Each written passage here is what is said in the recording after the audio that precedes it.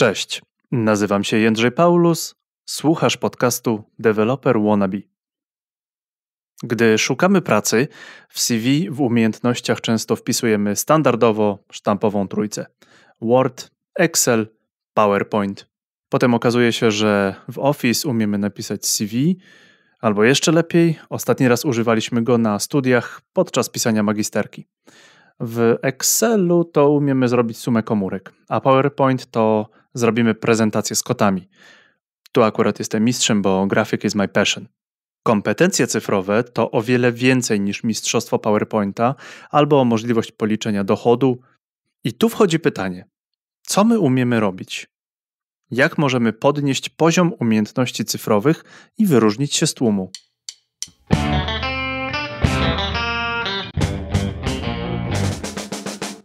Do rozmowy zaprosiłem legalną Martę, specjalistkę od pakietu Office 365.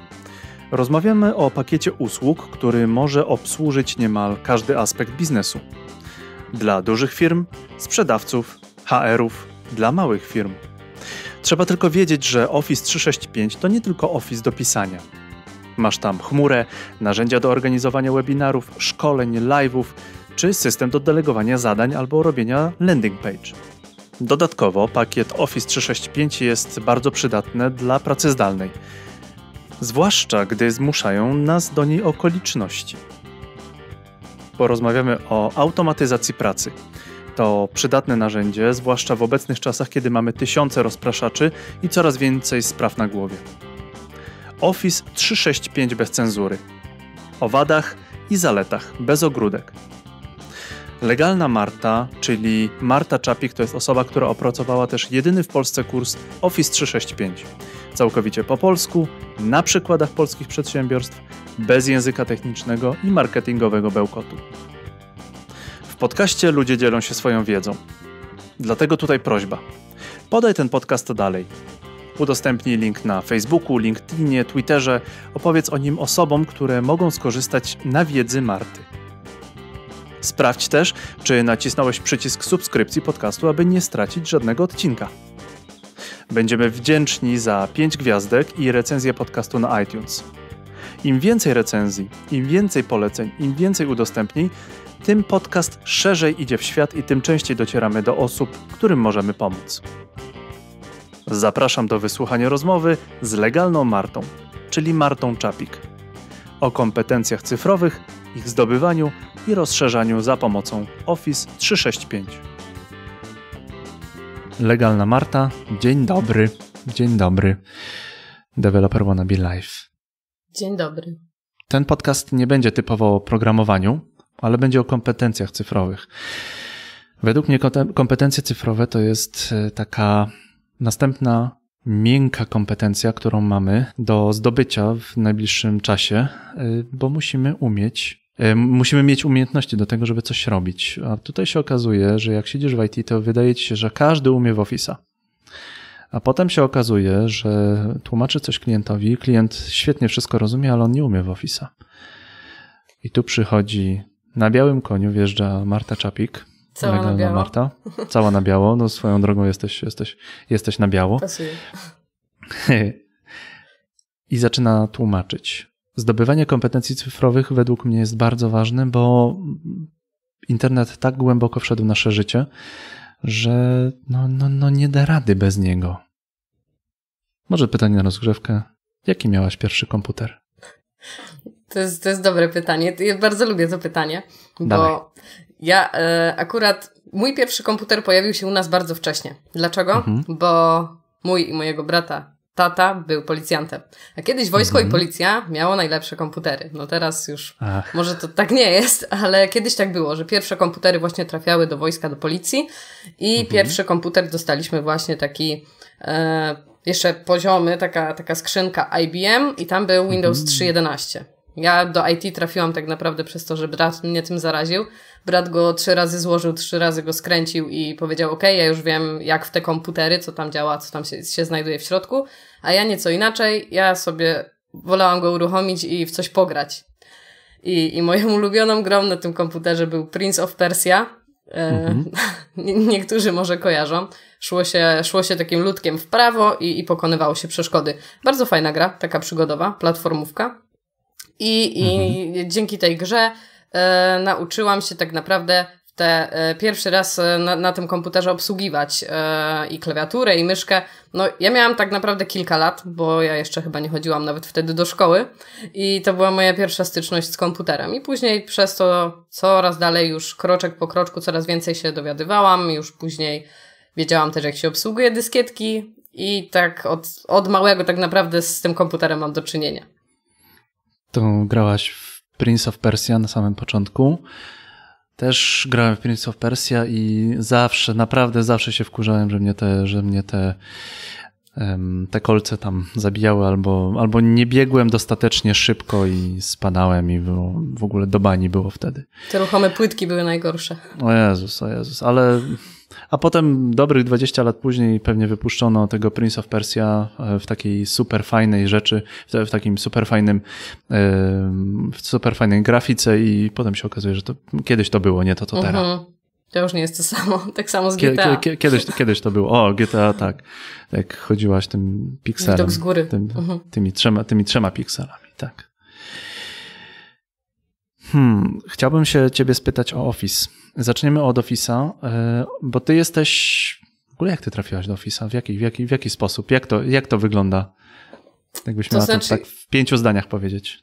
W pięciu zdaniach. E, zaczynałam od. E, na początku byłam w szkole informatycznej i trafiłam na praktyki do firmy, która zajmowała się IT, bo chciałam pracować jako informatyk. Mhm. I kazano mi zainstalować jakieś sterowniki na komputerze Windowsa, Office'a ale nie bardzo się w tym czułam, bo ja nie jestem taka właśnie sprzętowa, nie jestem techniczna, nie jestem inżynierem, tylko właśnie wolę kontakt z klientem. Wcześniej pracowałam na infolinii e, u wielkiego operatora telefonicznego, telekomunikacyjnego i bardzo lubiłam kontakt z klientem i przeszkadzało mi to, że instalując coś na komputerze i siedząc cały czas w tym sprzęcie, nie mam kontaktu z ludźmi.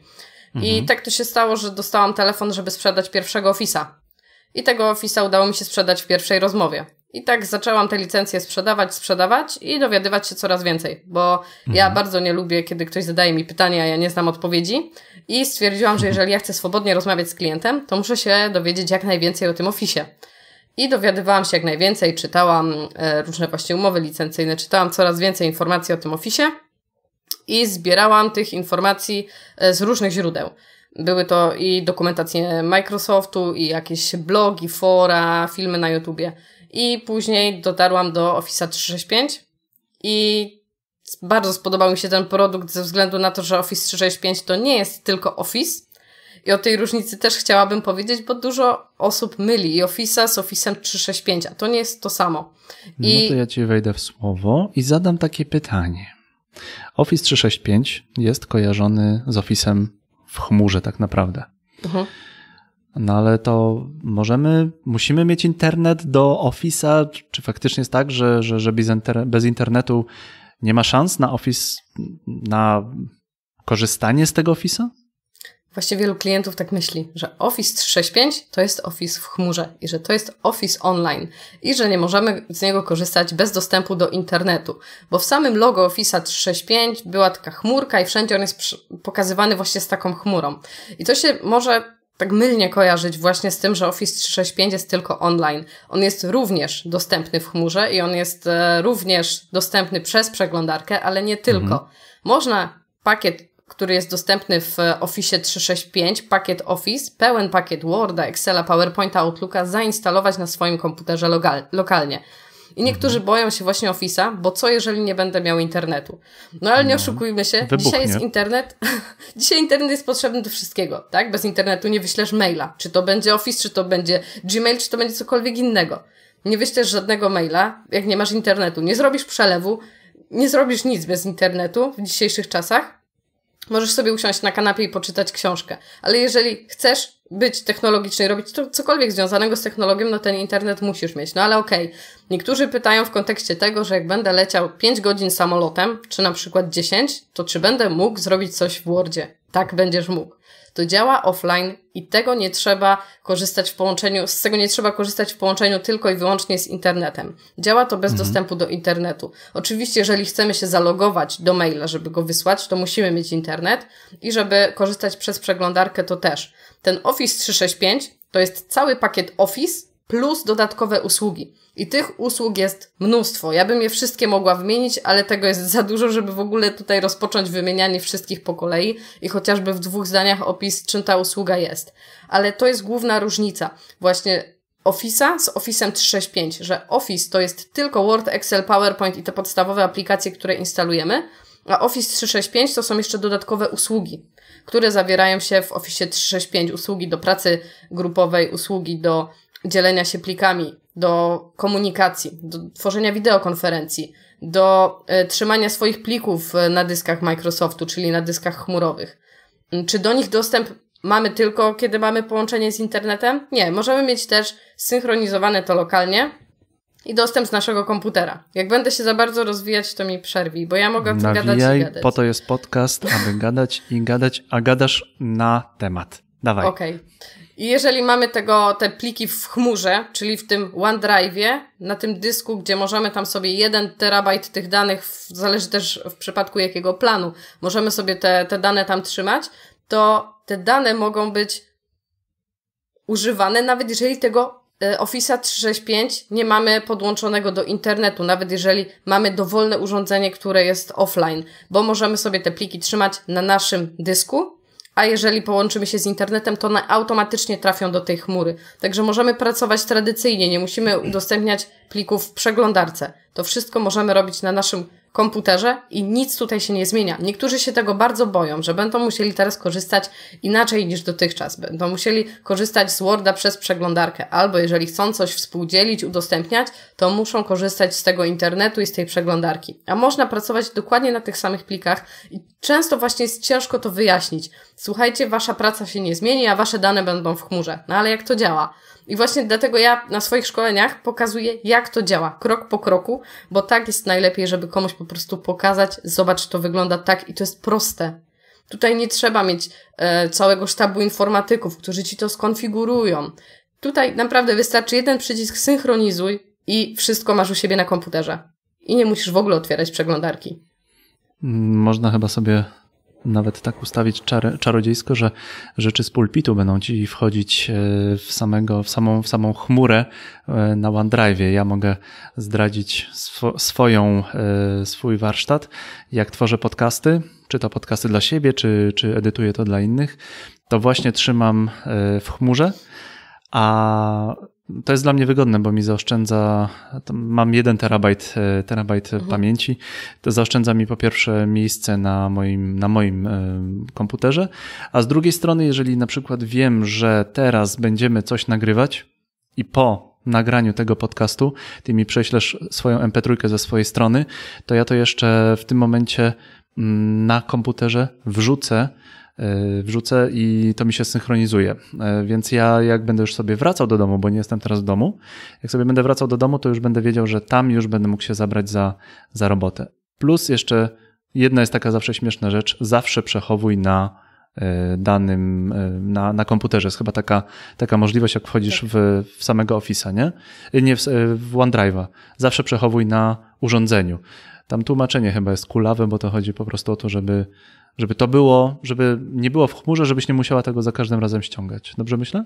Tak. Jeżeli chcemy, żeby y, ten, te, te depliki, które są dostępne w OneDrive nie, nie zajmowały nam miejsca na dysku, ale chcemy je mieć w naszych folderach, to wystarczy kliknąć zwolnij miejsce i wtedy pojawia się symbol chmury i my widzimy wszystkie pliki, ale żeby któryś plik wyświetlić, to on nam się wtedy ściąga w tym momencie. Mm -hmm. Także no możemy no jest... wszystkie mieć albo na naszym dysku i je po prostu synchronizować z chmurą, albo wszystkie są w chmurze i dowolne możemy sobie pobierać, a tylko widzieć ich nazwy. To jest bardzo wygodne w tym momencie, że ja to czasami, czasami to się przyznaję, czasami robię to przez weba, czyli po prostu wchodzę sobie na OneDrive na, na, na webie, bo używam tutaj Windowsa e, do, do, do pracy, a czasami po prostu e, odpalam to mój pulpit synchronizuje się również, e, jeden, jeden, jeden folder synchronizuje się z pulpitem na domowym komputerze. Bardzo wygodna rzecz, bardzo mi się, bardzo mi się podoba. No i wuchta tego miejsca jest. Wreszcie mogę wrzucać takie, wrzucać w, na przykład w nie MP3, a wave'y które za, mhm. za, samo nagranie Wave zajmuje o wiele, wiele więcej miejsca. A jeszcze ci wejdę Pozdro, tylko w tak, zdanie. Słucham, dawaj. Bo oprócz tego, że to ci zaoszczędza miejsce, to jakie to jest bezpieczne. Wyobraź sobie teraz, że jedziesz pociągiem i zostawiłeś torbę albo ktoś ci ukradł laptopa i niektórzy tracą wszystkie swoje dane i nie są w stanie ich odzyskać, a ty po prostu logujesz się na innym komputerze, klikasz synchronizuj i pracujesz w 30 minut, bo chwilę to musi się pobrać i wracasz mhm. do pracy, masz wszystkie swoje pliki w najnowszej wersji. To nie jest jakiś backup sprzed dnia czy tygodnia.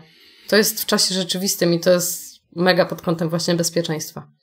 No, tutaj się przyznam, że właśnie kiedyś, no, nie ukradli mi komputera, ale ale, ale się tak zdarzyło, że komputer szlak trafił.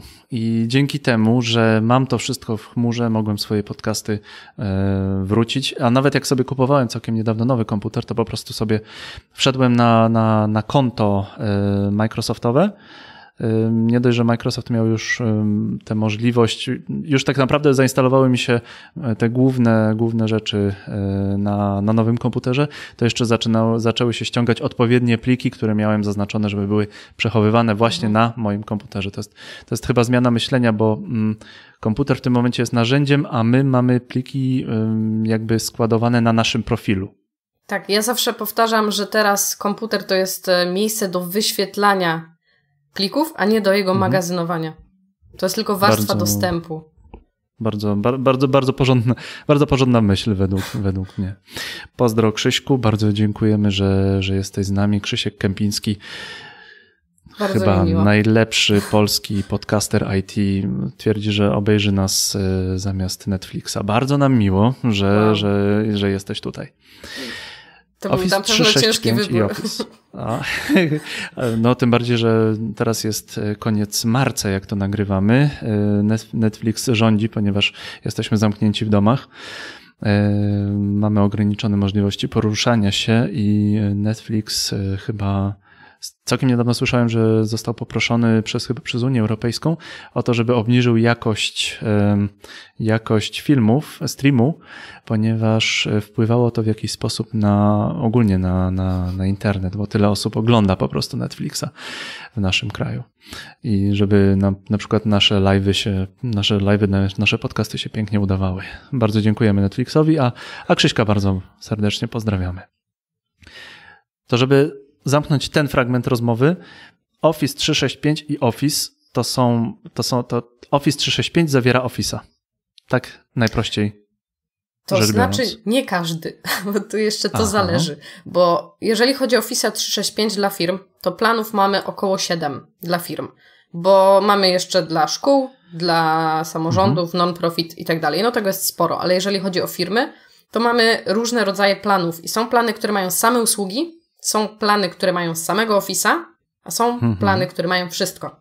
I Czyli można sobie o... wybrać tak naprawdę. Tak. I to zależy, y, dużo zależy też od tego, ile mamy użytkowników, w jaki mhm. sposób pracujemy i możemy sobie te plany dowolnie łączyć, mieszać, możemy wybrać subskrypcję roczną, miesięczną i możemy je między sobą y, dowolnie, dowolnie mieszać też y, składniki, bo oprócz tego, że na przykład w Office 365 Business Essentials, bo to jest taki plan, w którym nie mamy Office'a, czyli tego mhm. pakietu Office, który instalujemy. Tam są tylko te aplikacje webowe, tylko te przeglądarkowe i czyli tam Worda nie, nie, będę tam miał. Będzie Word online przez przeglądarkę. Aha, On jest aha, nieco ograniczony, bo na przykład nie możemy zrobić kolumn, czyli podziału strony na połowę, ale mhm. podstawowa edycja tekstu jak najbardziej tak, współpraca, czyli 15 osób naraz może edytować jeden plik, widzimy ich pracę w czasie rzeczywistym, to wszystko działa, tylko po prostu uruchamiamy to przez przeglądarkę. Działa też prawo klik i to jest bardzo duży plus, że prawym klawiszem nie mamy standardowych opcji kopiuj, wklej, tak jak mamy to w przeglądarce, tylko mamy faktycznie całe menu kontekstowych, z którego możemy wybierać opcje. I mhm. to jest właśnie w tym Wordzie Online. I ten Office 365 Business Essentials zawiera tylko te usługi online'owe. I jeżeli mamy tam pakiet Exchange, który jest odpowiedzialny za pocztę, SharePoint, który jest odpowiedzialny za witrynę plików, OneDrive, Planner, to to wszystko jest, e, to, część z tych e, elementów możemy kupić oddzielnie. Możemy kupić Exchange'a samego, SharePointa, OneDrive'a. To nie jest oczywiście opłacalne, bo SharePoint kosztuje dokładnie tyle samo, co cały plan Business Essentials i to lepiej kupić oczywiście cały Business Essentials, gdzie mamy te wszystkie e, plany, te wszystkie elementy, ale na przykład Exchange już jest jakieś 20 zł rocznie tańszy niż cały pakiet. No więc niektórzy, jeżeli kupują 300 takich skrzynek, no to już jakaś kwota tutaj ma znaczenie. Ale jeżeli chodzi o, o każdy, ka, każdy z tych elementów, to można je kupić oddzielnie i dlatego tych planów robi się mnóstwo, bo okazuje się, że niby mamy jednego Office'a 365 dostępnego w siedmiu planach, ale produktów, które możemy zakupić jest kilkanaście albo nawet kilkadziesiąt. I to mhm. nie jest takie proste, ale podsumowując, e, Office 365 to nie jest tylko Office w chmurze, bo tych planów jest wiele i warto zapoznać się z tym, jakie są między nimi różnice, bo może okazać się, że faktycznie nasi pracownicy tego pełnego pakietu Office nie potrzebują, bo do tego, co oni robią, wystarczy całkowicie tylko ta wersja online'owa, czyli przez przeglądarkę. Czyli jest bardzo dużo różnych możliwości. Mhm i możemy sobie tak naprawdę wybrać, a nawet pewnie jeszcze nawet złożyć coś jak z klocków. Dokładnie. Pewnie, pewnie przy takich wyborach jest coś tam, e, pewnie w takich pakietach zawsze jest coś, a my jeszcze bardzo często brakuje nam jeszcze czegoś tam jeszcze nam brakuje i, i na pewno taką, taką, taką rzecz można sobie dodać. Jakbym cię spytał jako taki nie do końca ogarnięty użytkownik, co jest w Office?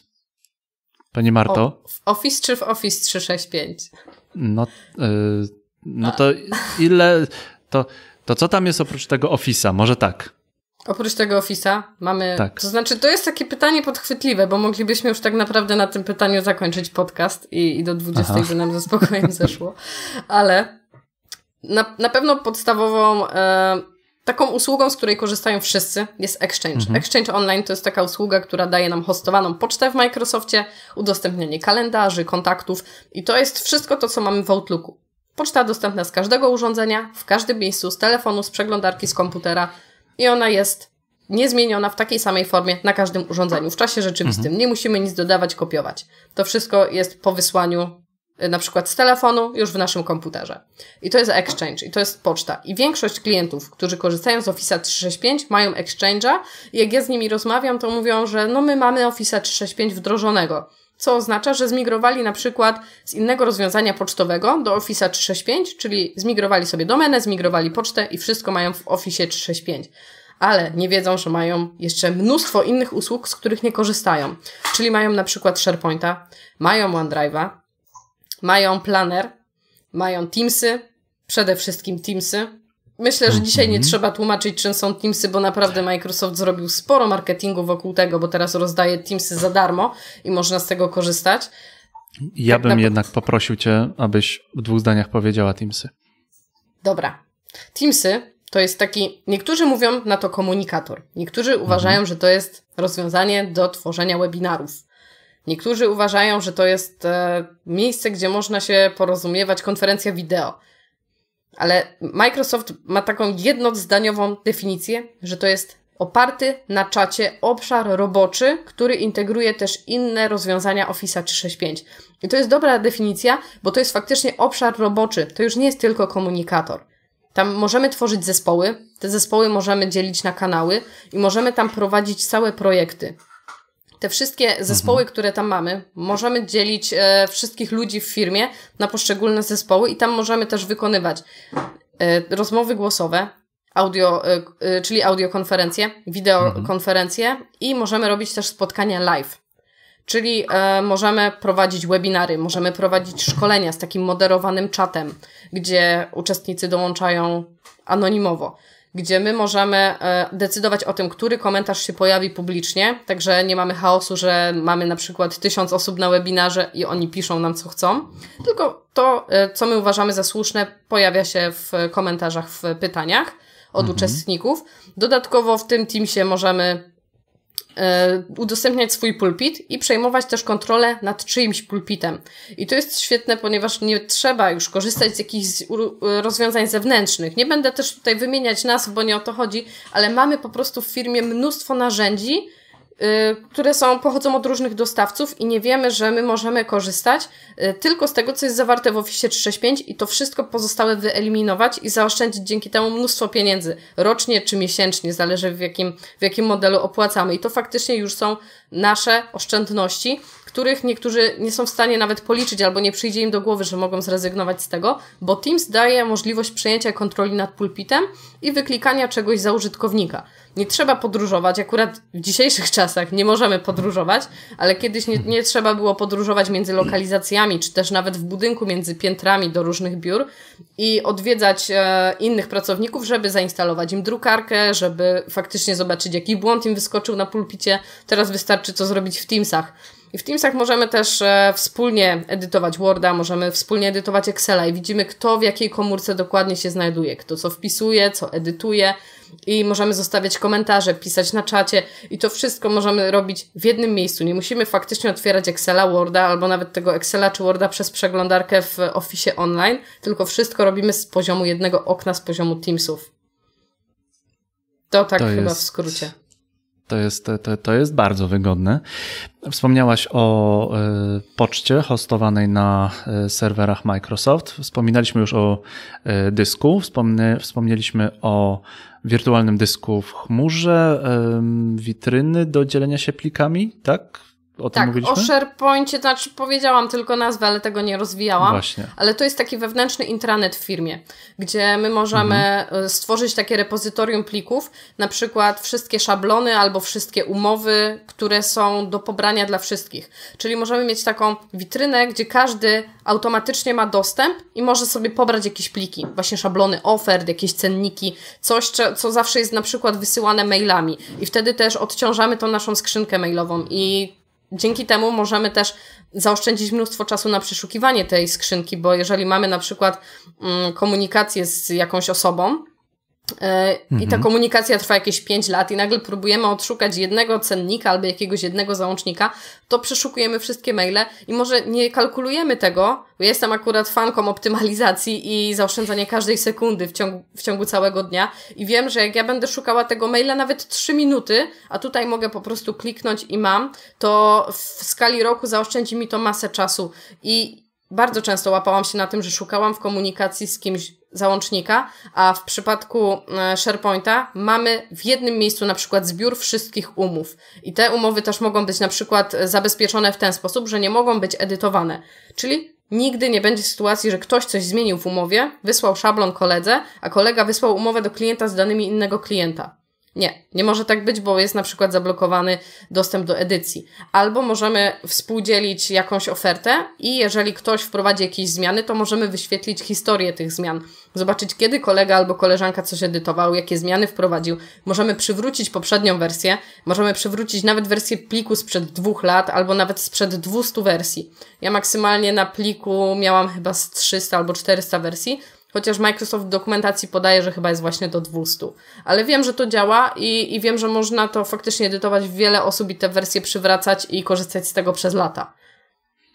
Jak opowiadasz o tych, o tych rzeczach, to Violeta miała taki, taki komentarz, że się zrobi z tego cyberplaneta, że będzie za dużo wszystkiego, że, że, że przestaniemy ze sobą rozmawiać.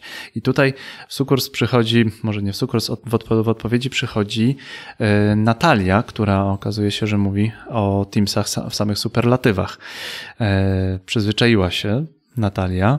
E, nie wyobraża sobie mm, pracy bez Teamsów, w szczególności teraz przy pracy, przy pracy zdalnej. Czy ty niedawno robiłaś jakieś takie ogromne szkolenie z pomocą Teamsów? To znaczy, prowadziliśmy w zeszłym tygodniu dokładnie e, webinar e, mhm. wraz z Akademią Aplikacji. Udało nam się na webinar mm, zebrać 1800 osób, to znaczy 1800 się zarejestrowało, co jest kosmiczną liczbą i z tego co się orientuję, to obecnie wszyscy w ogóle prowadzą różne webinary, jakieś szkolenia online, e, pracę zdalną i tak dalej. I wiem, że właśnie są ograniczenia, na przykład 100 osób pokój ma na przykład 200 osób, albo e, więcej niż 500 osób na przykład e, platforma nie uciągnie. My się w ogóle tym nie martwiliśmy, bo zrobiliśmy live'a właśnie na Teamsie i dołączyło do nas w maksymalnym momencie było 1200 osób, a przez mhm. cały czas było około 1000-1100. Do samego końca wytrwało około 850-900 osób do samego końca, także to jest ogromne obciążenie, a wszystko przebiegło y, bardzo sprawnie.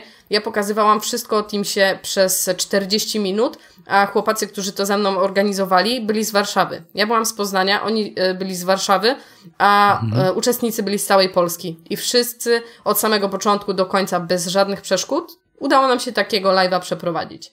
Dają radę serwery, serwery Microsoftu.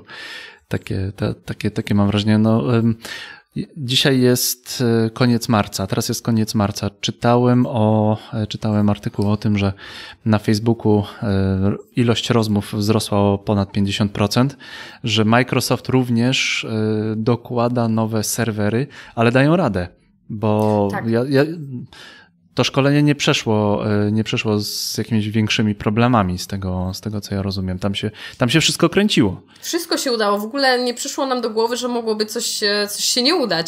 Ale ja mhm. później brałam e, po kilku dniach udział w innych webinarach, które były również na wielkiej ilości osób i nie dawały rady. To znaczy, jedno było odwołane, jedno strasznie zacinało, coś zakłócało, ale zawsze są obietnice, że ok, będzie udostępnione nagranie.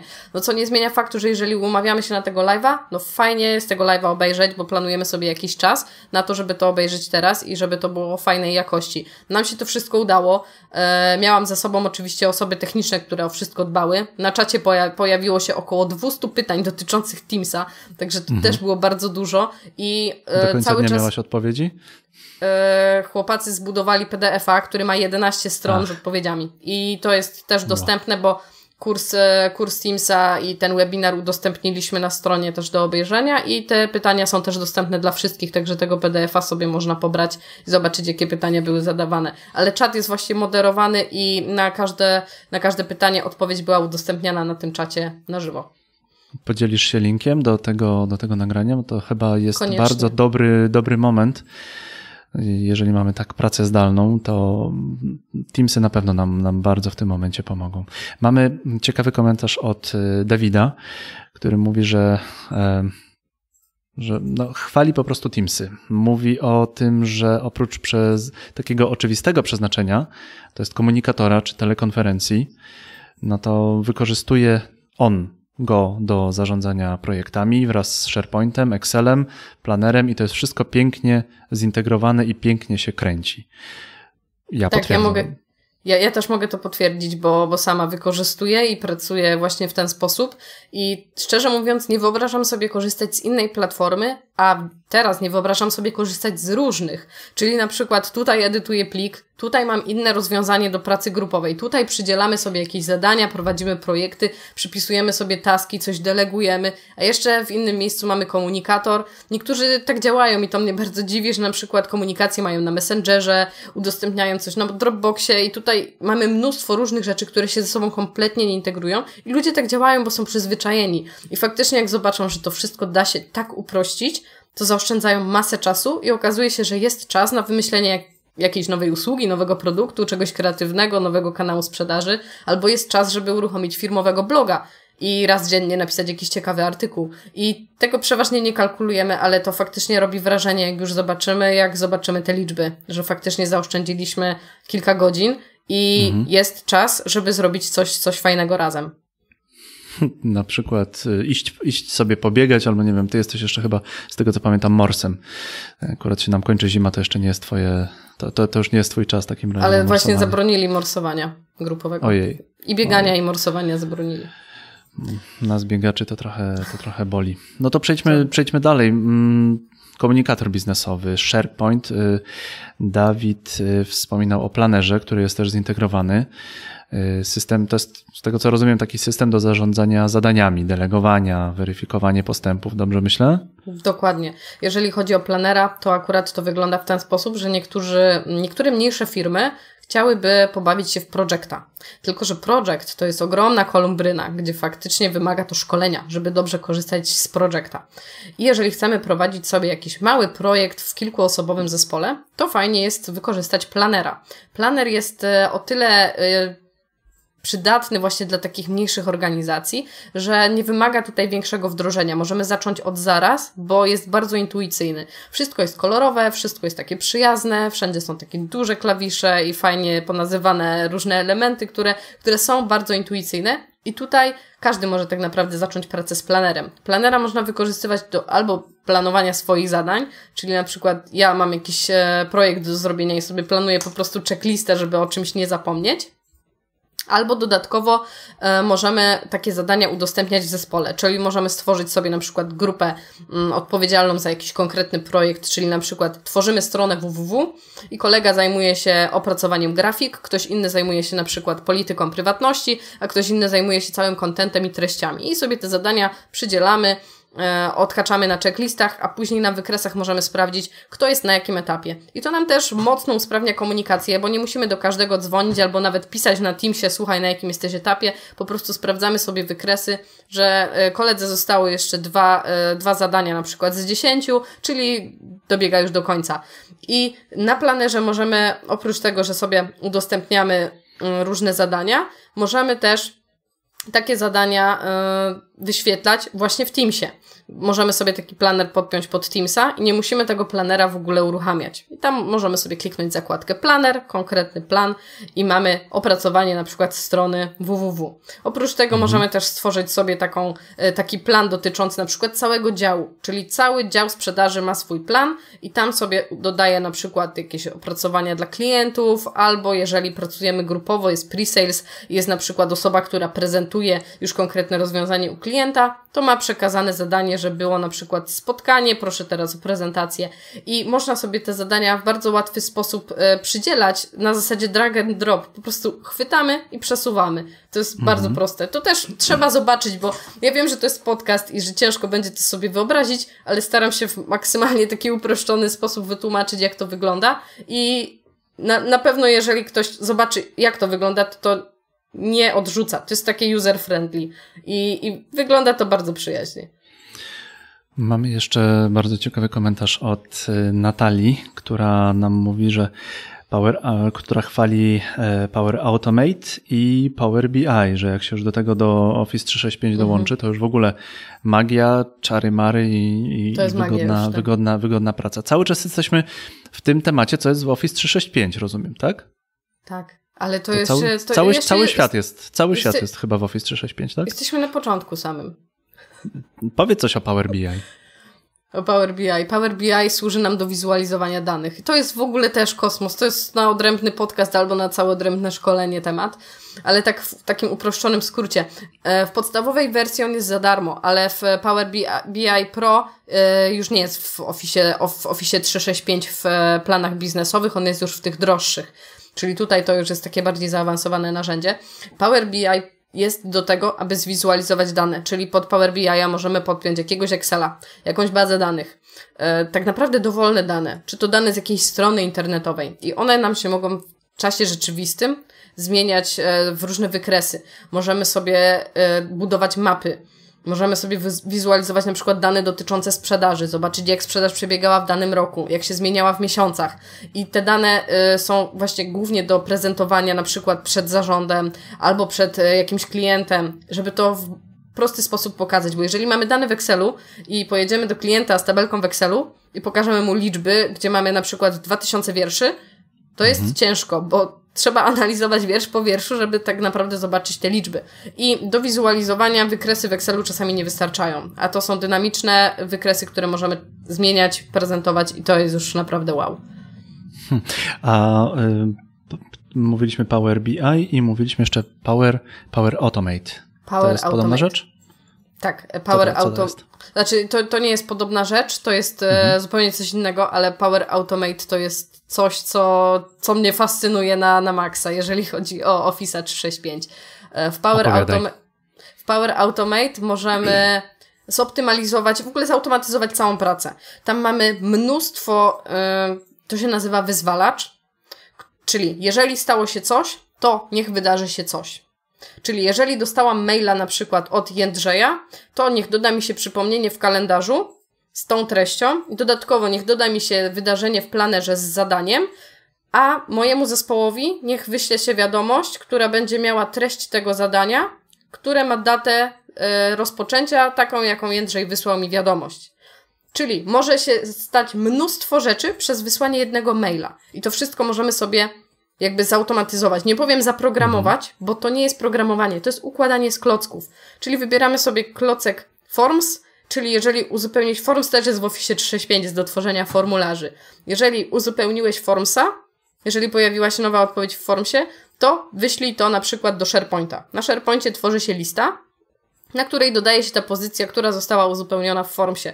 Jeżeli coś pojawi się na liście SharePoint, to wyślij na przykład wiadomość do teamu z treścią tego, co było w Formsie. I to wszystko da się razem połączyć i to wszystko może się dziać automatycznie. Ja na przykład mam swoją pracę tak zautomatyzowaną, że jak ktoś u mnie coś zamówi, to ja nie muszę robić nic, klient dostaje maila, wie co ma zrobić dalej, wysyłają się instrukcje, to się wszystko dalej samo zamawia. I ja to wszystko robię w Office 365. Niektórzy ludzie zatrudniają do tego sztab programistów, niektórzy kupują jakieś drogie narzędzia do całego obiegu elektronicznego dokumentów, faktur, e, do wniosków urlopowych, czegokolwiek.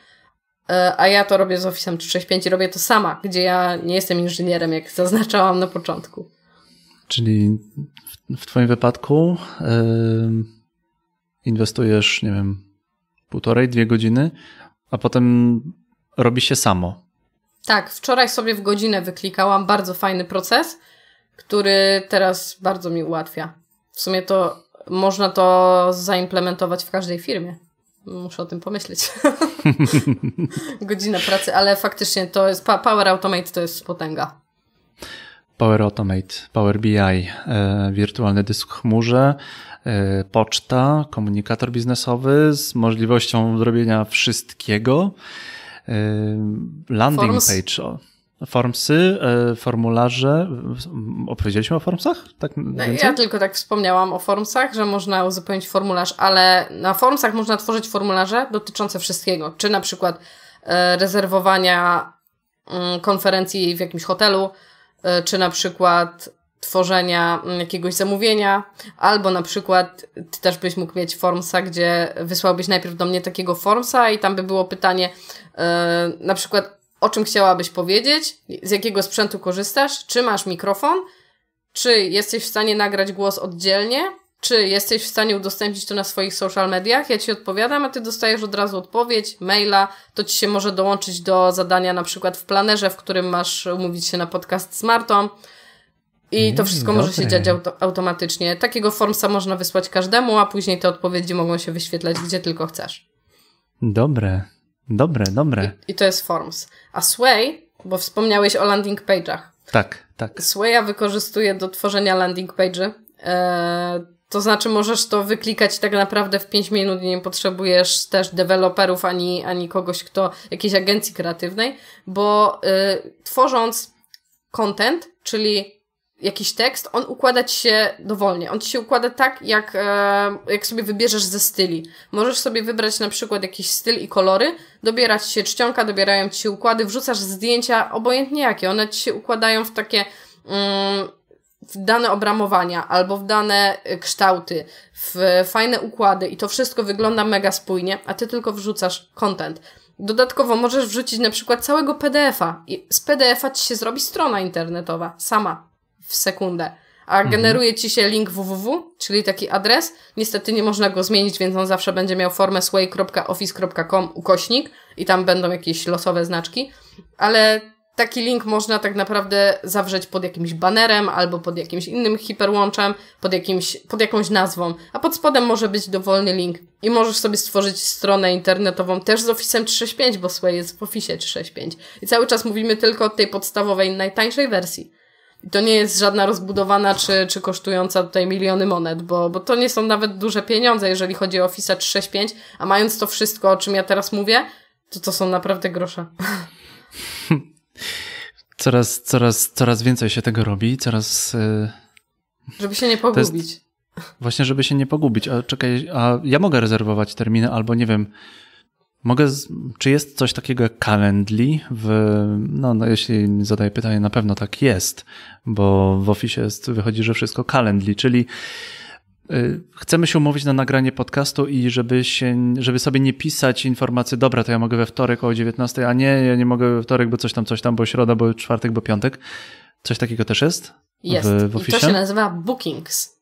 Bookings e, służy do tego, żeby się umawiać na jakiś termin. I to wygląda w ten sposób, że też możesz sobie to zrobić dosłownie w 10 minut. Robisz sobie nazwę, czyli na przykład umów się na podcast i jest twoje logo Developer Wannabe. I mhm. udostępniasz swój termin, czyli na przykład zaznaczasz, że ty możesz zawsze we wtorki, czwartki i piątki w godzinach tych i tych i wysyłasz to tego linka. Jeżeli jest na przykład was wielu, to możesz jeszcze wybrać wybierz osobę, żeby można było sobie z listy wybrać, z którą osobą się umawiasz na dany dzień i wysyłasz takiego linka. I ten ktoś nie musi mieć Office 365, nie musi mieć maila, nie musi mieć nic. On po prostu dostaje taką jakby aplikację pod linkiem i może sobie wybrać, widzi, umów się ze mną na podcast, jestem dostępny w tych dniach i w tych godzinach. I ktoś sobie po prostu wybiera dowolną godzinę i ty dostajesz powiadomienie. I to jest jeszcze stworzone w ten sposób, bo w Booking stworzysz od razu maila, który jest wysyłany na tego maila, którego podasz przy re rezerwowaniu. I ta osoba mhm. od razu dostaje informację. E, słuchaj, za, zarezerwowałeś sobie termin na nadgranie podcastu i na przykład ty ustawiasz, kiedy ma dostać przypomnienie i dostaje na przykład przypomnienie dwa dni przed, dzień przed, godzinę przed. I to jest z automatu, ty nie musisz nic wysyłać. Jejku. To powiem ci, że powiem ci, że dobrze, dużo, dużo rzeczy by mi bardzo uprościł Office. E, mniej maili bym wysyłał, mniej... Um mniej wszystkiego, bardzo duża automatyzacja. To jest, y, no, no, rozważę, czy będę, czy będę inwestował w więcej, a może, a może ja mam po prostu takie rzeczy, o których totalnie, totalnie nie wiem, bo wiesz co, bo mm, jak ty wiesz wszystko o Office 365. Nie wszystko. Dobrze, wiesz y, więcej niż przeciętny zjadacz chleba to, to czy my z tego wszystkiego korzystamy? Czy, czy w ogóle firmy z tego wszystkiego korzystają? Nie. Powiem tak, tak jak na samym początku mówiłam przy exchange'u, czyli przy tej poczcie, większość mhm. firm korzysta tylko z tego. I ciężko w to uwierzyć, że płacimy za to wszystko, co jest dookoła i nawet nie wiemy, że to mamy. Dlaczego? Bo firma wdrożeniowa przyszła, zmigrowała pocztę i okej, okay, poczta działa i to jest najważniejsze w firmie, tak? Bo jak nie będą spływały maile, no to będzie tragedia.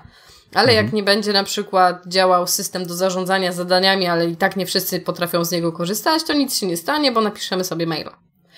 Ale ten mhm. mail jest najważniejszy. Nie, nie wszyscy korzystają właśnie z tego wszystkiego.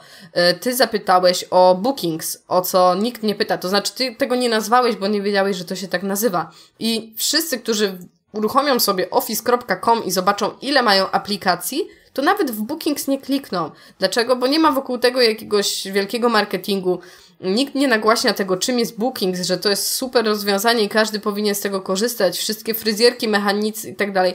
Nie, bo raczej fryzjerki nie korzystają z Office 365, a w firmach są inne systemy do rezerwowania terminów, więc nikt nie będzie nagłaśniał tego, tego Bookings.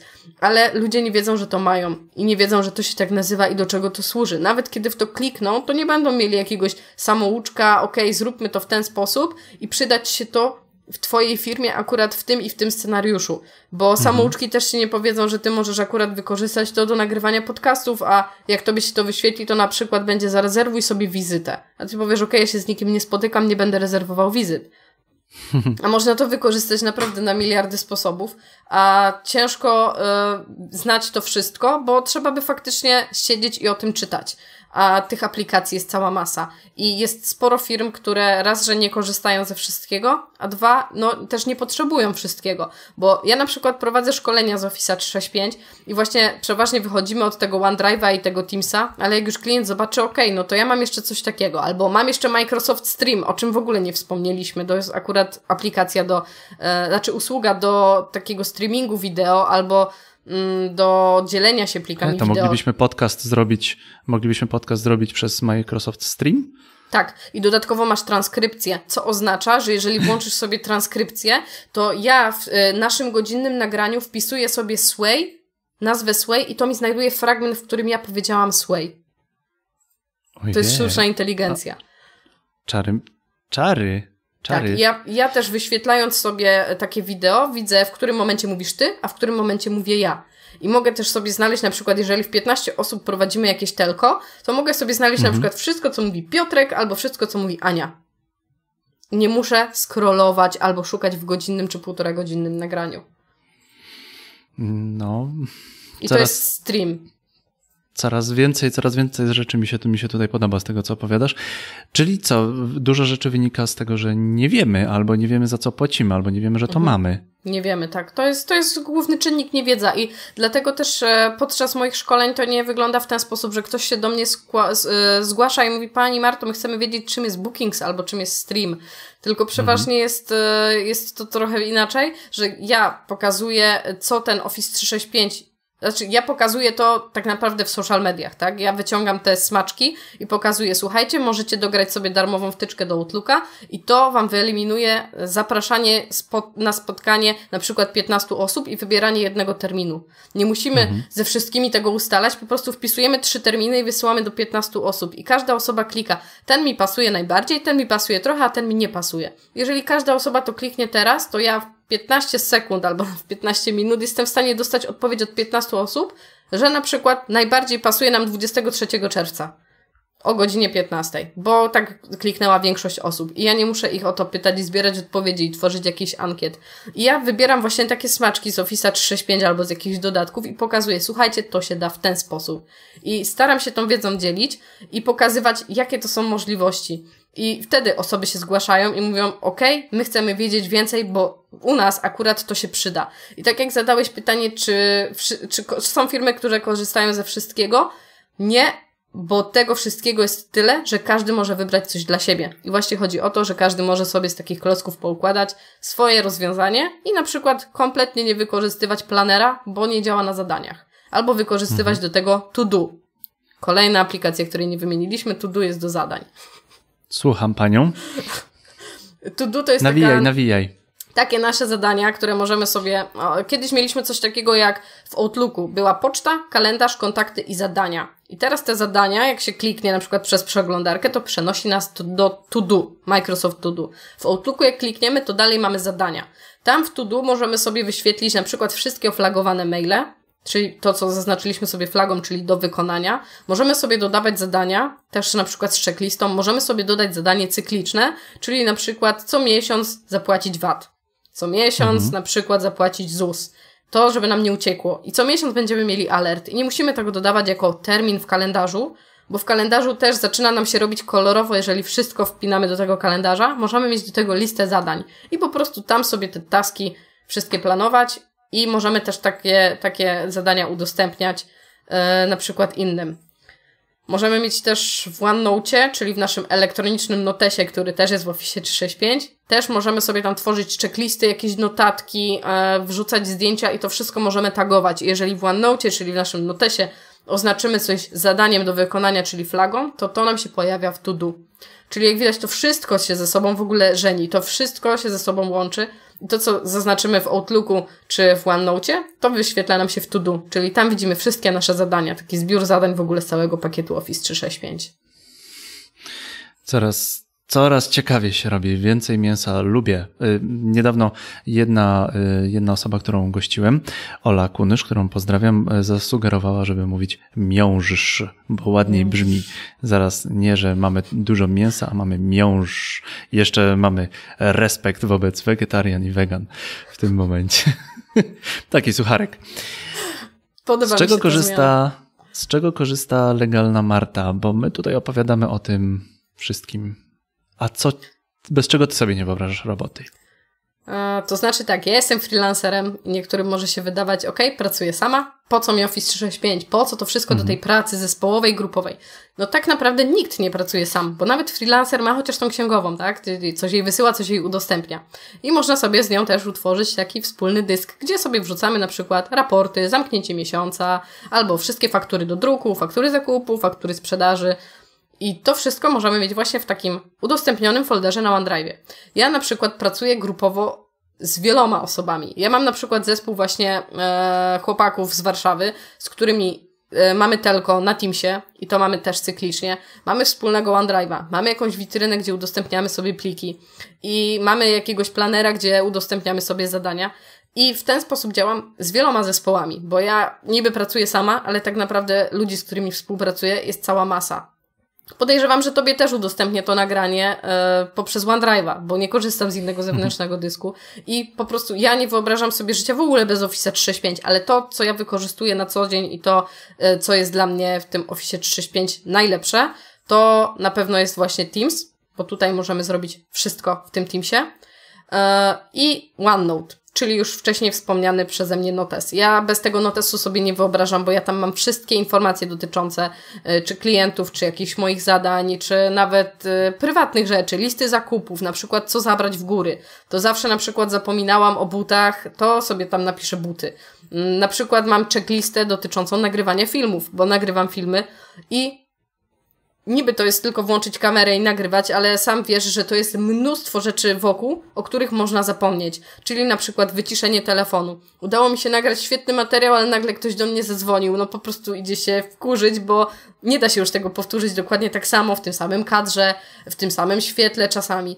I, i to jest bardzo mhm. ciężkie, więc trzeba zadbać o każdy element. Wyciszenie telefonu, włączenie mikrofonu, wybranie, żeby to był ten mikrofon, a nie ten z laptopa, e, włączenie kamery, włożenie karty pamięci do kamery przede wszystkim, naładowanie baterii, włączenie świateł i tego jest cała masa. I ja sobie to wszystko robię w OneNote. I OneNote służy mi w ogóle do ogarniania wszystkich moich notatek, informacji, zapisków.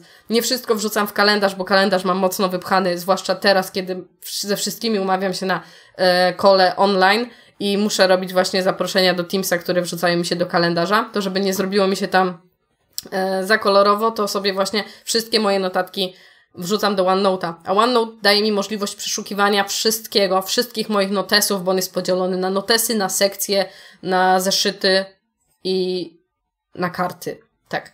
I tam mogę w takim mądrym okienku wyszukaj, kliknąć wyszukaj i znajdzie mi dosłownie wszystko. To, co jest w każdym notesie. Ja mam nawet osobny notes ze studiów, gdzie miałam każdy przedmiot w osobnej kolorowej kartce i jak szukałam na przykład czegoś dotyczącego mikroekonomii, to wpisywałam mikroekonomię i znajdowała, znajdowało mi wszystkie karty i wszystkie notatki dotyczące mikroekonomii. I wszystkie moje notatki w ogóle ze studiów, także to też jest mega. Mogę tam też nagrywać głos, nagrywać wideo i mogłam sobie wykłady nagrywać, ale tego się chyba nie robi. To nie jest legalne. No to jeszcze, to jeszcze chyba zależy, czy, czy pan profesor, czy pan profesor pozwoli. Nie udostępniałam nie. tego, więc aha, to było aha. tylko dla mojego użytku.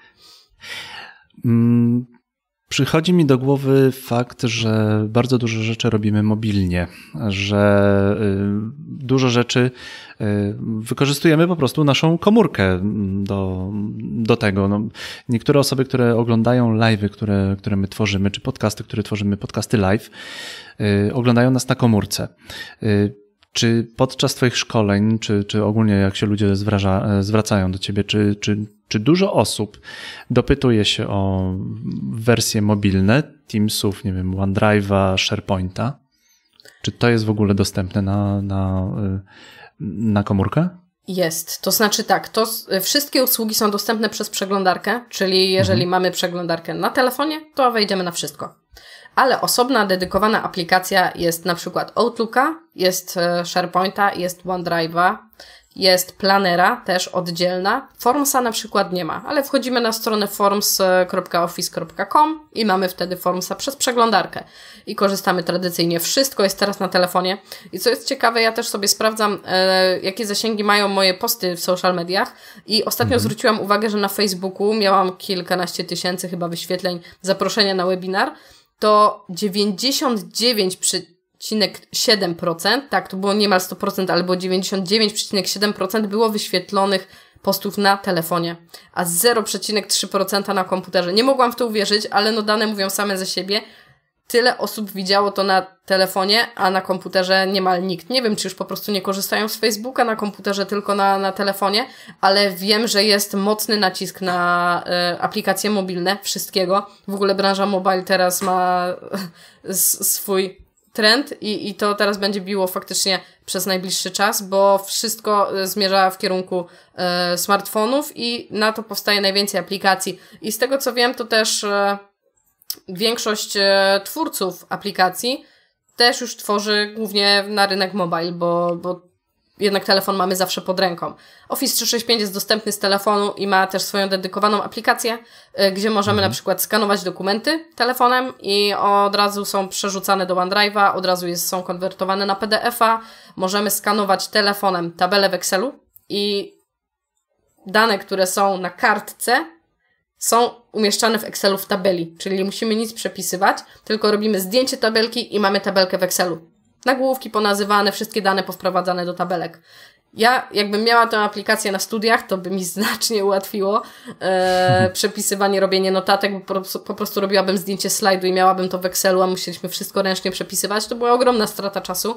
A oczywiście nikt e, też nie kserował no bo jeżeli było nas 100 osób na sali, no to faktycznie kserowanie notatek to jest strasznie dużo papieru. Mhm. A studia, na, na mojej studni, stu, na mojej uczelni akurat nie było, e, to była uczelnia państwowa, więc no to też były jakby publiczne pieniądze, więc no nikt nie marnował tego na, na drukowanie. I taka aplikacja naprawdę teraz mocno ułatwia i w firmach, i w szkołach.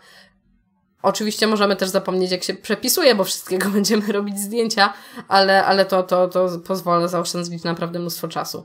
No i taka aplikacja mobilna jest na telefon. Ona ma też dużo innych opcji i też integruje się z innymi rozwiązaniami, z OneDrive'ami, z SharePointem i tak dalej.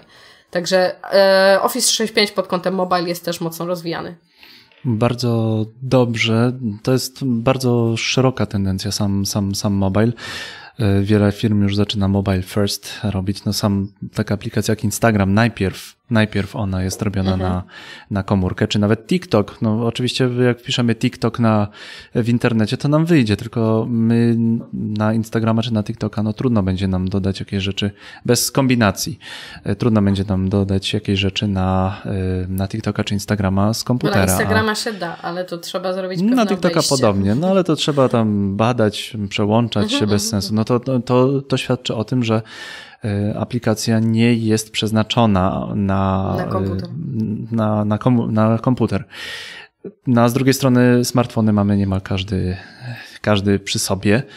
I to czasami nie ręki. jeden. No, czasami nie jeden. A co są takie, jakie są takie rzeczy, które cię fascynują w 365? Takie, że po prostu mówisz wow.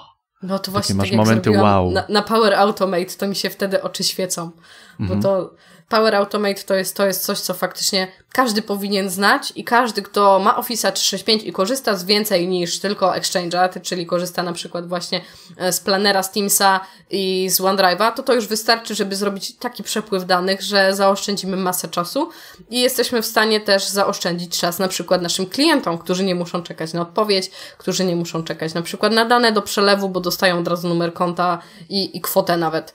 E, jesteśmy w stanie mnóstwo czasu zaoszczędzić, ale też mnóstwo pieniędzy, e, bo nie musimy wykorzystywać e, całego sztabu deweloperów, czy nawet kogoś, kto nam coś takiego pomoże zrobić, tak? Jakikolwiek support czy wsparcie, bo poświęcając naprawdę chwilę na to, żeby zobaczyć, jakie są gotowe, bo są tam dostępne też szablony. Można sobie z szablonów wybrać, czyli na przykład yy, jest symbol Outlooka, jest symbol kalendarza i jest symbol dzwoneczka. I można się domyślić, że jeżeli dostanę maila, to dodaj mi przypomnienie w komen- y, dodaj mi e, termin w kalendarzu, a później mi o tym przypomnij, na przykład godzinę przed wydarzeniem. I to jest, to są po prostu takie obrazki, czyli na przykład Forms, Outlook i Teams. Wyślij maila mhm. albo dodaj do kalendarza i to jest bardzo proste, bo można skorzystać z szablonu i tylko wprowadzasz dane.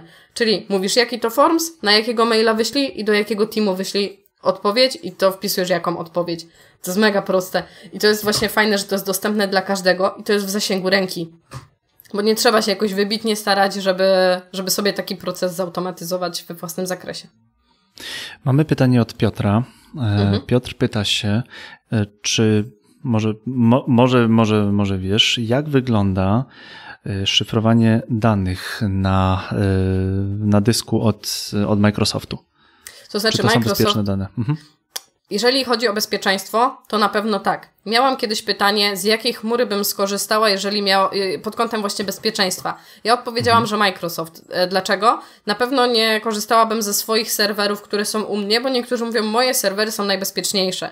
No nie, bo jak mi ktoś się włamie i ten serwer zabierze, no to co ja zrobię? No nic nie zrobię. Jeżeli mi spłonie, no to nie mam, mogę mieć jakiś backup, ale no to faktycznie są już e, duże nakłady, żeby sobie taki drugi serwer postawić w jakiejś innej lokalizacji. A Microsoft to wszystko zapewnia, bo to bezpieczeństwo danych jest SLA jest na poziomie 99% i 99,9% i e, oni faktycznie dbają o to bezpieczeństwo. Mają mnóstwo certyfikatów i mnóstwo dokumentów mówiących o tym, jak te dane są przetwarzane, w jaki sposób są szyfrowane, w jaki sposób są przechowywane i gdzie. Jest na przykład taka strona jak Centrum Zaufania Office 365 i tam możemy sprawdzić też, e, gdzie nasze dane są przechowywane. I mamy też taką stronę, możemy sobie w Google wpisać gdzie są moje dane Office 365 i faktycznie znajdzie nam taką mapę świata i możemy wybrać jak, jakąś aplikację i pokazuje nam, gdzie dane z tej aplikacji są przechowywane. Takie podstawowe jak właśnie Exchange, SharePoint, OneDrive, Teams to jest e, na pewno Europa i te dane nie opuszczą Europy i to jest, to jest e, bezpieczeństwo. Na pewno są firmy, które chronią swoich patentów, chronią swoich danych. Największym potwierdzeniem tego, że te dane są bezpieczne jest to, że korzystają z Office 365 sądy, jakieś spółki medyczne e, czy inne e, podmioty, które przetwarzają naprawdę wrażliwe dane i to one mogłyby się bać faktycznie o to, że te dane gdzieś wyciekną. Jeżeli mhm. korzystają z tego od lat, no to chyba największe potwierdzenie na to, że to są dane bezpiecznie przetwarzane. Pytamy się, um, może inaczej, następne, na, następne pytanie będzie Tutaj, tutaj spytałem się o ciebie o takie najbardziej fascynujące rzeczy. Ty już chyba wcześniej wspomniałaś właśnie e, ten, e, te, ten AI, czyli mhm. Power Automate, tak? Dobrze myślę? To znaczy. To są te. Czekaj, czekaj, bo wspominaliśmy Power Automate i to było pytanie. O to, co mnie fascynuje. O to, co cię fascynuje. Tak. A co jest takiego, czego nie wiesz? To jest właśnie. Co sprawia trudność? Trochę Power BI i tutaj właśnie e, słuchaczka wywołała to do tablicy, bo to nie mhm. jest coś, w czym ja się czuję mocna, może tak, jeżeli chodzi o Power BI. Ja wiem, do czego mhm. służy, ale nie miałam okazji po prostu pracować z tym e, w terenie, czyli dostać ogromną bazę danych, podłączyć to pod Power BI i te dane przetwarzać. Wiem, jak to wygląda na danych demo, ale nigdy tego w takim prawdziwym życiu nie widziałam. No może też przez to, że niewiele firm w Polsce może sobie pozwolić na Power BI'a, bo jest mało specjalistów od Power BI'a, e, którzy są w stanie to wdrożyć faktycznie na takim e, bardzo zaawansowanym poziomie, który zrobi taki efekt wow. Bo my, jeżeli chodzi o takie wizualizowanie swojego małego Excela, no to myślę, że to jest na razie za mało, żeby powiedzieć o tym, że się znam na Power BI'u. Mhm. Ale to, czego nie wiem i co jest dla mnie na razie taką e, takim jeszcze małą lampką, którą chciałabym gdzieś tam zaświecić, ale nie mam na razie na to, na to czasu, e, to jest właśnie Power Ups. I to jest mega. Akurat nie będę tutaj może robić reklamy Power Apps, bo to jest podcast dla deweloperów, a jeżeli chodzi o Power Apps, to jest tworzenie Powiedz. aplikacji. Powiedz, mówimy tutaj o kompetencjach cyfrowych. Mówimy, okay. E, to jest developer wannabe. Wannabe znaczy chciałbym być. Ja myślę, że nikomu nie zaszkodzi dobrze ogarniać Office 365. Power Apps to jest e, takie miejsce, gdzie możemy sobie stworzyć aplikację, też budując z klocków, tak jak w przypadku Power Automate. I to są akurat takie dwa narzędzia, które ze sobą mocno działają. Power Apps e, daje nam możliwość stworzenia jakiejś aplikacji, Mhm. I chciałabym nauczyć się robić te aplikacje właśnie poprzez budowanie z takich, z takich klocków. Tam nie ma programowania, tam nie ma kodu, tam nie ma e, takiego niskiego poziomu. Tam po prostu układasz sobie tak e, graficznie i aplikacja jest gotowa na przykład e, do dystrybucji w księgowości. Oni mogą sobie mhm. na przykład wprowadzać tam faktury, zrobić elektroniczny obiekt tych faktur albo y, jakieś wieloetapowe akceptowanie tego i można całe aplikacje tworzyć właśnie w Power Apps. I to jest dla mnie jeszcze taki dość mglisty temat, którego chciałabym się nauczyć, ale też no nie można być specem od wszystkiego. Jeżeli ja pracuję z end userem, czyli z tym użytkownikiem końcowym, który uczy się korzystać, który uczy się Office'a, który uczy się udostępniać dane i trzeba mu pokazać kliknij prawym udostępnij, bo ja pracuję właśnie z takimi użytkownikami, na których już w IT brakuje czasu. Wdrożymy Office'a 365, na jakimś e, bardzo zaawansowanym poziomie, ale okazuje się, że brakuje czasu na to, żeby pokazać tym wszystkim na dole, gdzie tu trzeba kliknąć. I ja właśnie mhm. pracuję z tymi użytkownikami. I jeżeli chciałabym budować aplikacje i tworzyć te aplikacje, to miałabym zupełnie inną grupę, z którą bym pracowała, bo raczej nie będę uczyła handlowców czy, czy osób z marketingu, jak tworzyć aplikacje. Może im by się to przydało, ale, ale jednak to jest zupełnie coś innego. Dlatego te power upsy to tylko przez to, żeby faktycznie wiedzieć i to coś takiego bardziej dla siebie, ale pod kątem tego, co ja robię w tym momencie, to, to Office 365 no już został tak w większości rozgryziony. Mhm. Ale my tutaj, widzisz, tak opowiadamy, mówimy, jaki fajny jest właśnie wasze, wasze zdrowie, drodzy, drodzy podcasterzy, drodzy, drodzy słuchacze. Podcasterzy tutaj, może jacyś też. Drodzy podcasterzy, może też. Ja bym chciał zadać jeszcze pytanie o to, no, co jest nie tak? Co jest nie tak w oficie? Co, co są rzeczy takie, takie wkurzające?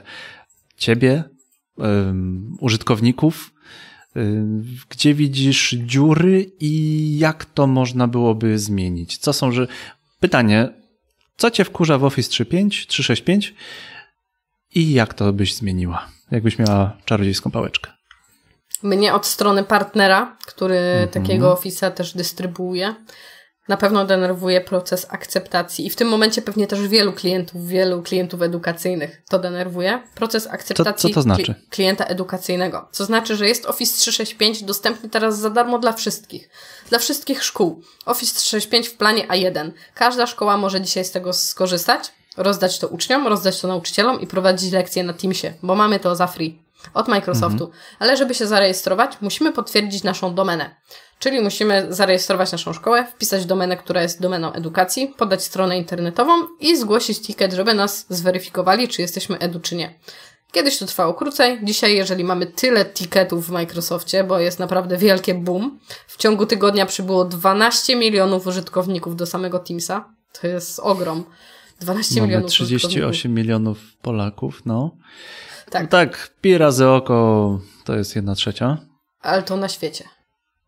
No to jedna trzecia Polski jakby się zwiększyła, tak? tak? tak. Użytkowników. O. Także to jest, to jest ogrom, to jest nie do wyobrażenia liczba, no a pracowników Microsoftu nie przybyło w takiej skali. Więc mhm. faktycznie to się wydłuża. I są szkoły, które, którym zależy na czasie, no bo chcą prowadzić teraz te lekcje, chcą udostępniać swoim uczniom pliki, chcą to robić dzisiaj już, a nie za dwa tygodnie, jak Microsoft coś zaakceptuje, ale to nie jest ich wina, tak? No bo jest faktycznie teraz mocne obłożenie, ale to jest po prostu trochę denerwujące, że klienci też dzwonią, że już by chcieli, a ja nie mogę zrobić z tym nic. I faktycznie trzeba po prostu poczekać, aż to się przeprocesuje.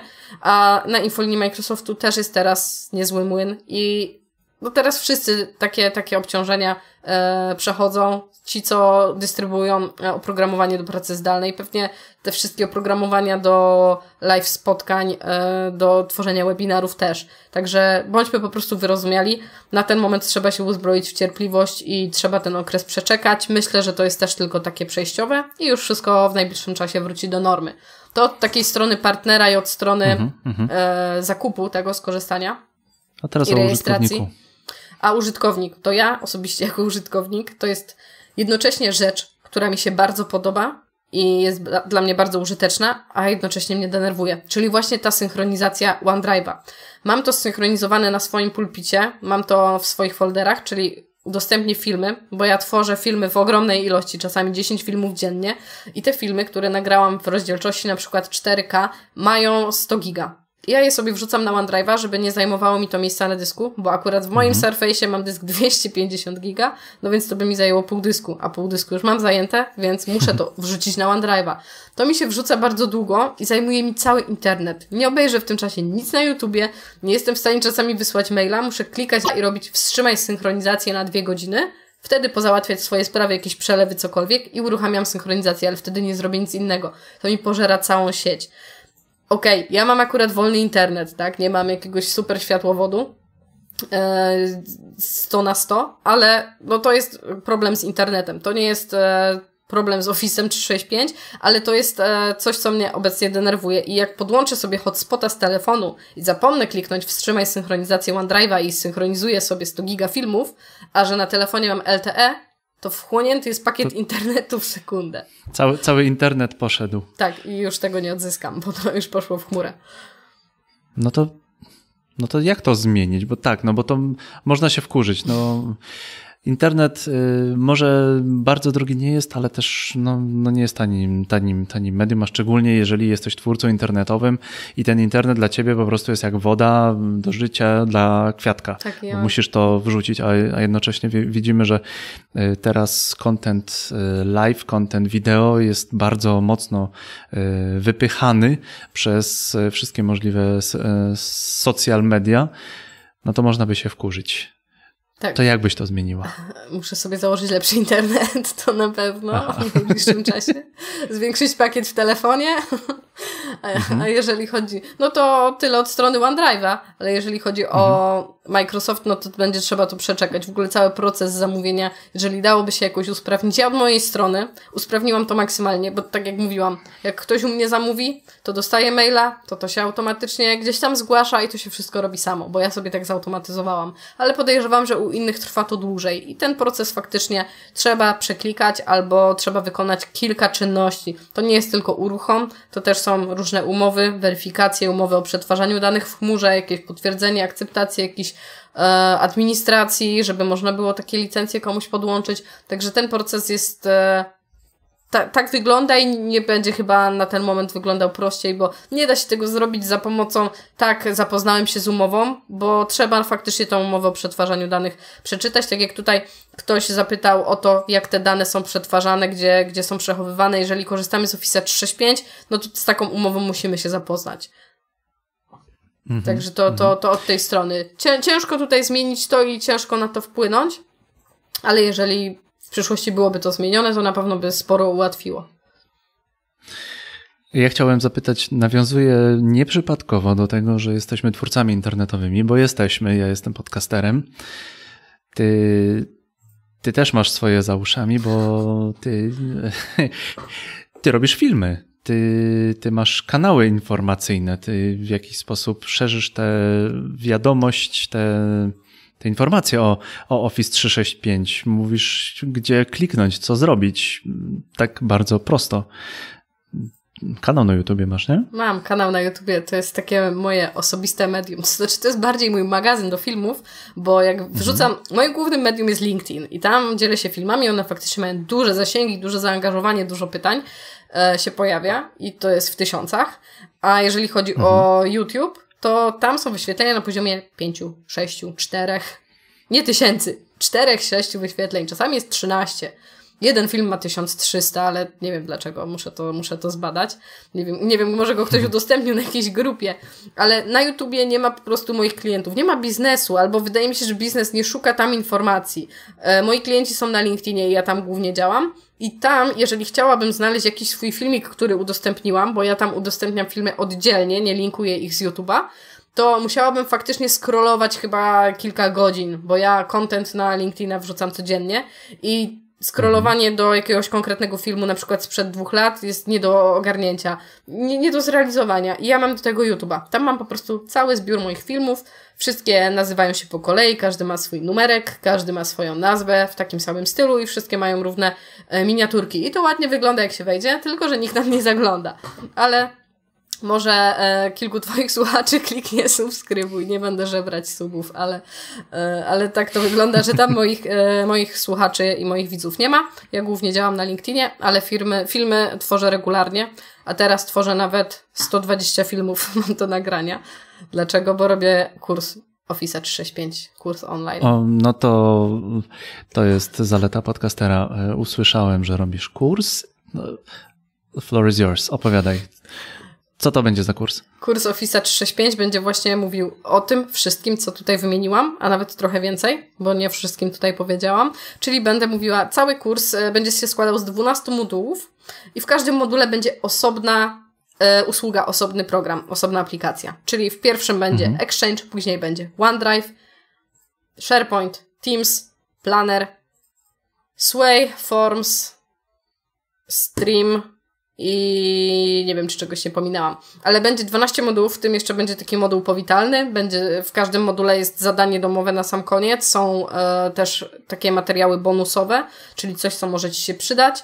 I każdy moduł będzie się składał z 10 lekcji. Stąd też wzięło mi się 120 filmów, e, bo w każdym module jest 10 lekcji i premierę planujemy na 6 maja. E, ten podcast będzie publikowany pewnie z końcem kwietnia. To będzie uruchomiona przedsprzedaż. I będzie można e, zakupić już wcześniej ten kurs.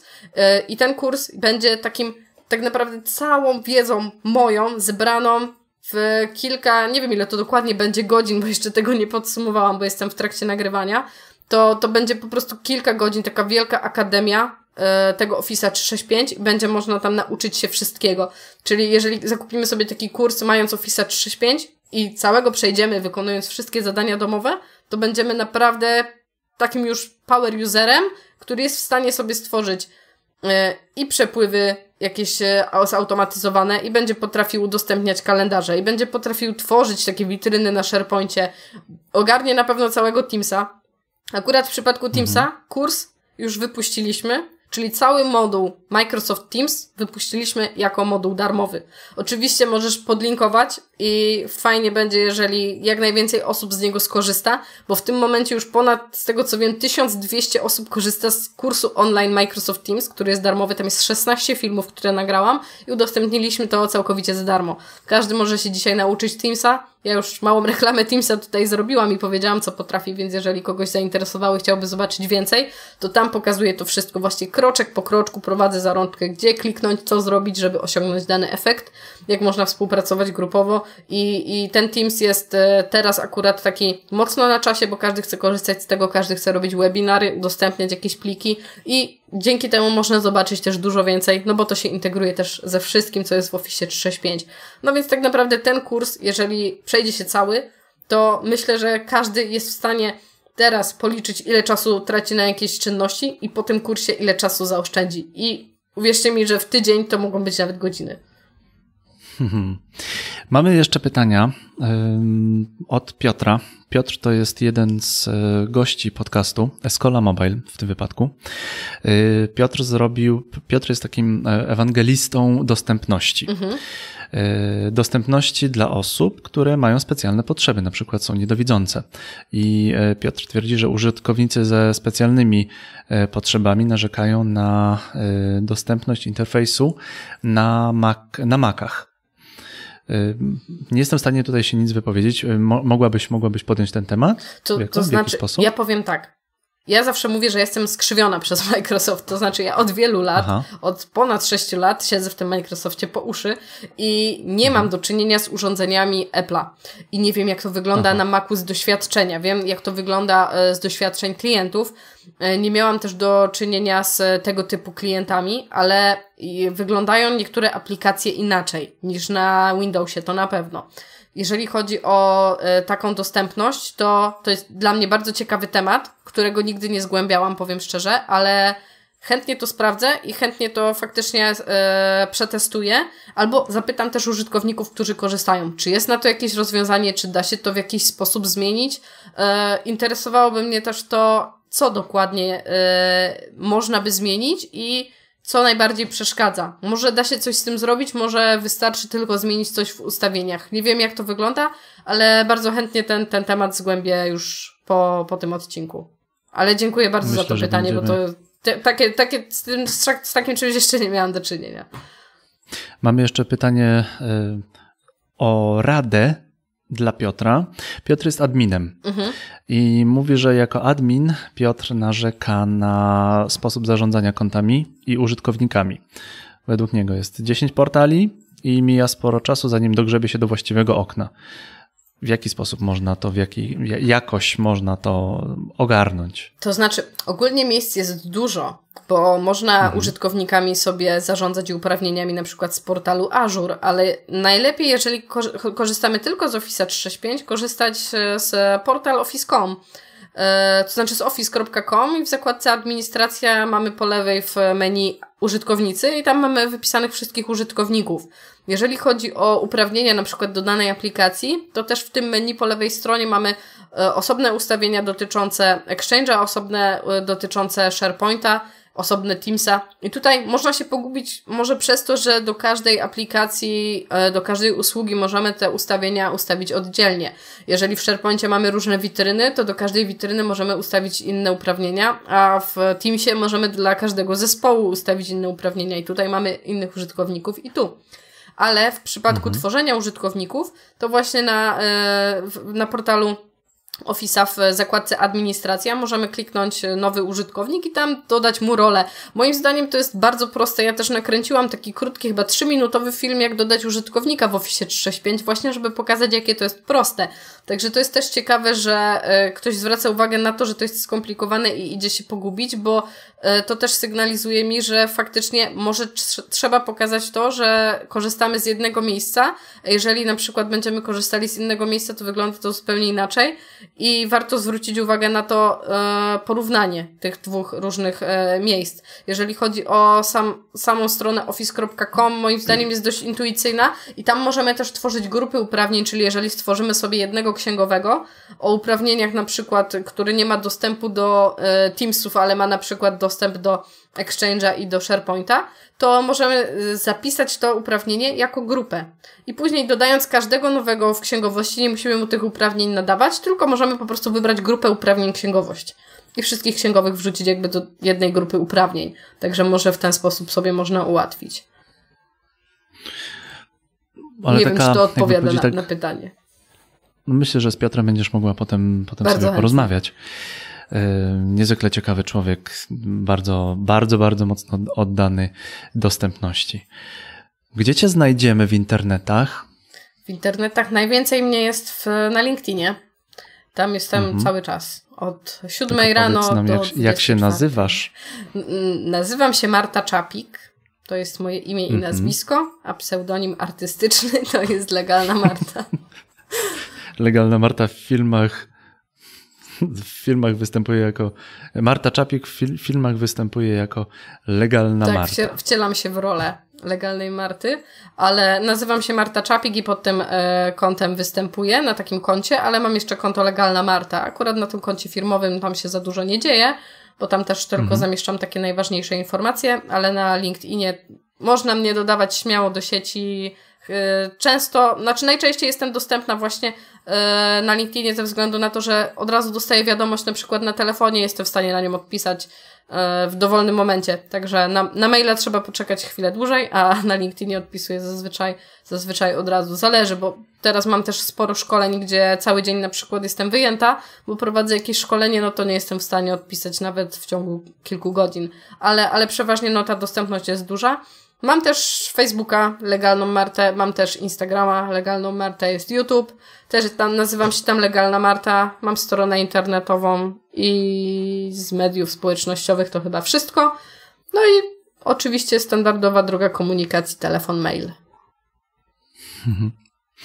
Czy musimy jeszcze coś dodać bo nawika już jest na niemal półtorej godziny. Właśnie wiem, widzę ten bijący zegar i miała być godzina, trochę przegięłam. No, absolutnie nie przegięłaś, bo tutaj dajesz strasznie dużo ciekawego kontentu. Czy coś byś chciała jeszcze dodać? Czy może, może pojawiły się w Twojej głowie jakieś, jakieś myśli teraz takie związane z, z naszą rozmową? Co byś chciała jeszcze przekazać światu? Światu jeszcze chciałabym przekazać, że wszyscy trzymajmy się teraz razem jeżeli faktycznie potrzebujecie wsparcia w zakresie pracy zdalnej albo jakichś aplikacji, to ja jestem dostępna, pomogę jak się da, dam dostęp do grup wsparcia, darmowe kursy, możecie liczyć na pomoc. Jak, mo jak mogę, to pomagam. Także zapraszam do kontaktu i myślę, że z mojej strony to wszystko. To była dla mnie bardzo ciekawa rozmowa, bardzo ciekawe pytania, niektóre pytania, których się w ogóle nie spodziewałam, ale Myślę, że, że, że, wszystkie, że wszystkie te informacje jesteście w stanie sobie też jakoś poukładać i że tej wiedzy nie było za dużo i że nie była ona chaotyczna, bo ja wiem, że jak pierwszy raz się słyszy o Office 365 i usłyszy się o tym wszystkim, to można powiedzieć, wow, tego jest za dużo, ale faktycznie możecie korzystać tylko z poczty i, i to w zupełności wystarczy. Nikt, nikt was za to nie zlinczuje, że nie wykorzystujecie tego wszystkiego, co przecież Office 365 daje. Ze spokojem to, to korzystacie jak chcecie i jak będziecie potrzebowali czegoś więcej, to ja zawsze wam coś podpowiem. Bardzo Wam dziękujemy, że byliście z nami. Bardzo Wam dziękujemy, że spędziliście z nami ten czas. Dziękujemy za Wasz czas i za Wasze uszy. Gościłem Martę Czapik, legalną Martę. Rozmawialiśmy o Office 365, o tym, co Martę kręci, fascynuje, co od wielu lat jest bardzo, bardzo dużą e, radością i chyba takim towarzyszem for life dla, dla Marty. Tak bardzo by mi Dziękujemy go brakowało, wam. gdyby go zabrakło. Dziękujemy Wam za Wasz czas. To był Developer Wannabe Podcast. Marta Czapik, gościni tego podcastu. Ja się nazywam Jędrzej Paulus. Do usłyszenia i do zobaczenia. Dziękuję bardzo, Jędrzej. Do zobaczenia. Cześć. Cześć.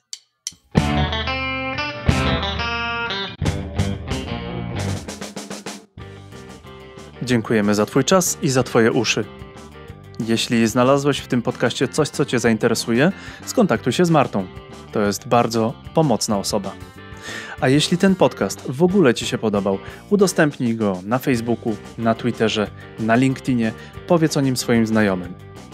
Im więcej jest udostępnień tego podcastu, tym szerzej ten podcast idzie i możemy dotrzeć do większej ilości ludzi.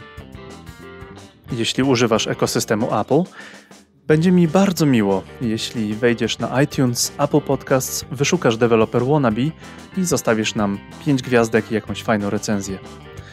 I tutaj działa to samo, ten sam algorytm. Im więcej ocen, im więcej gwiazdek, tym wyżej stoję w rankingu i tym częściej jestem słuchany.